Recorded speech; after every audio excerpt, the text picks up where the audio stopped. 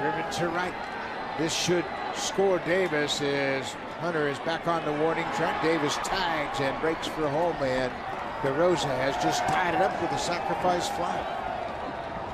Well, that's good at bat. That's exactly what you got to do in those situations. Put the ball in play and cash in that runner from third. Did you see his approach after it got to two strikes, how he really closed off and really was thinking about hitting the ball the other way? That front shoulder stayed closed a long time. That's just a veteran right there.